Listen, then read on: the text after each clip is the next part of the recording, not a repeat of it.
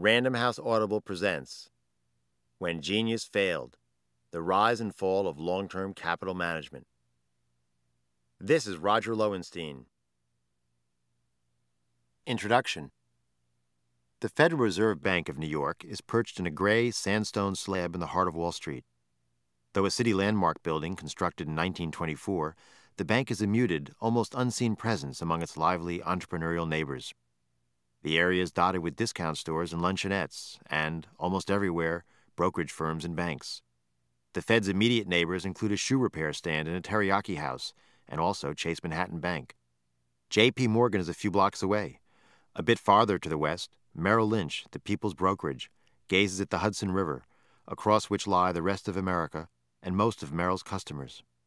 The bank's skyscrapers project an open, accommodative air, but the Fed building, a Florentine Renaissance showpiece, is distinctly forbidding. Its arched windows are encased in metal grille, and its main entrance, on Liberty Street, is guarded by a row of black cast iron sentries. The New York Fed is only a spoke, though the most important spoke, in the U.S. Federal Reserve System, America's central bank. Because the New York Fed's proximity to Wall Street, it acts as the eyes and ears into markets for the bank's governing board in Washington, which is run by the oracular Alan Greenspan. William J. McDonough, the beefy president of the New York Fed, talks to bankers and traders often. McDonough wants to be kept abreast of the gossip the traders share with one another.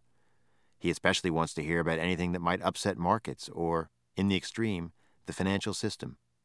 But McDonough tries to stay in the background. The Fed has always been a controversial regulator, a servant to the people that is elbow to elbow with Wall Street, a cloistered agency amid the democratic chaos of markets. For McDonough to intervene, even in a small way, would take a crisis, perhaps a war. And in the first days of the autumn of 1998, McDonough did intervene, and not in a small way. The source of the trouble seems so small, so laughably remote, as to be insignificant. But isn't it always that way? A load of tea is dumped into a harbor, an archduke is shot, and suddenly a tinderbox is lit, a crisis erupts, and the world is different. In this case, the shot was long term capital management, a private investment partnership with its headquarters in Greenwich, Connecticut, a posh suburb some 40 miles from Wall Street. LTCM managed money for only 100 investors. It employed not quite 200 people, and surely not one American in a hundred had ever heard of it. Indeed, five years earlier, LTCM had not even existed. But on the Wednesday afternoon of September 23, 1998, long term did not seem small. On account of a crisis at LTCM, McDonough had summoned, invited, in the Fed's restrained idiom, the heads of every major Wall Street bank.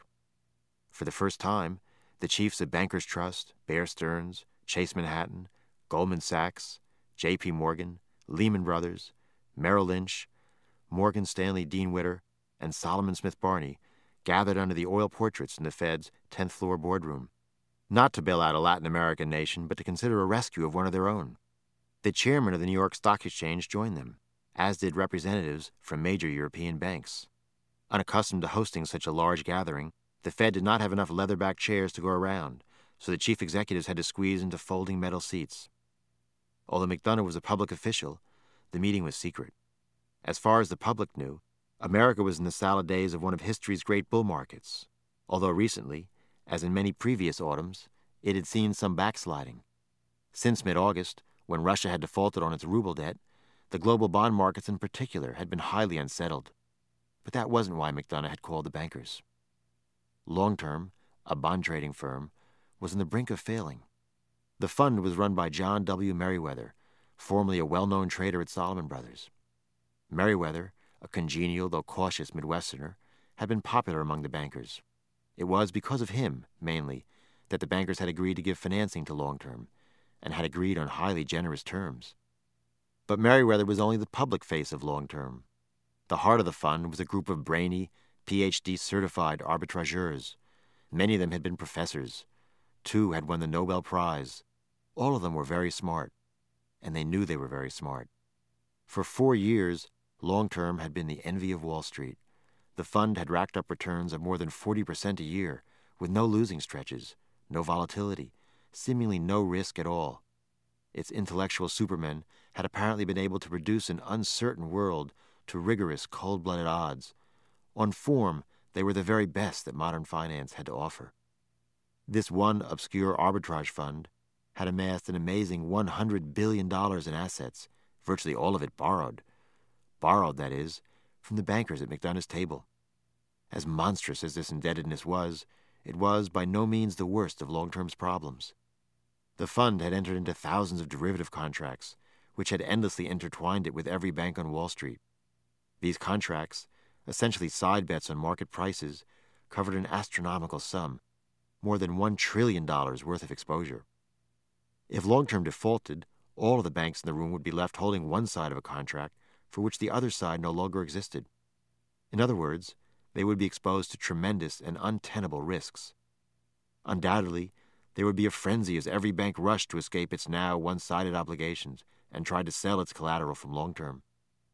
Panics are as old as markets, but derivatives were relatively new. Regulators had worried about the potential risks of these inventive new securities, which linked the country's financial institutions in a complex chain of reciprocal obligations. Officials had wondered what would happen if one big link in the chain should fail. McDonough feared that the markets would stop working, that trading would cease, that the system itself would come crashing down. James Cayne, the cigar chumping chief executive of Bear Stearns, had been vowing that he would stop clearing long term trades, which would put it out of business if the fund's available cash fell below $500 million. At the start of the year, that would have seemed remote, for long term's capital had been $4.7 billion. But during the past five weeks, or since Russia's default, long term had suffered numbing losses, day after day after day. Its capital was down to the minimum. Cayne didn't think it would survive another day. The fund had already asked Warren Buffett for money. It had gone to George Soros. It had gone to Merrill Lynch. One by one, it had asked every bank it could think of. Now it had no place left to go. That was why, like a godfather summoning rival and potentially warring families, McDonough had invited the bankers. If each one moved to unload bonds individually, the result could be a worldwide panic. If they acted in concert, perhaps a catastrophe could be avoided. Although McDonough didn't say so, he wanted the banks to invest $4 billion and rescue the fund. He wanted them to do it right then. Tomorrow would be too late. But the bankers felt that long term had already caused them more than enough trouble.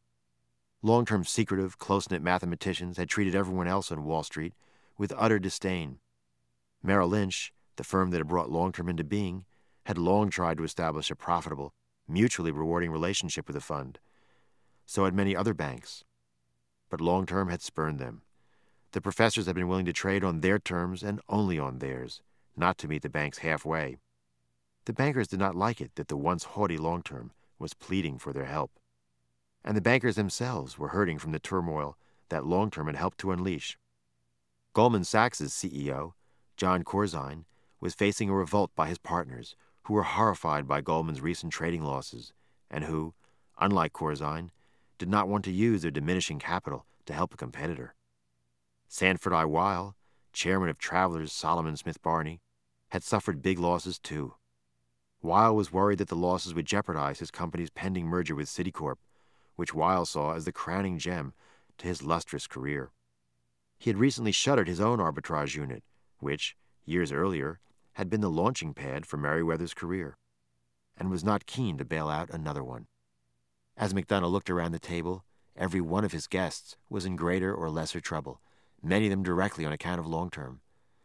The value of the bankers' stocks had fallen precipitously.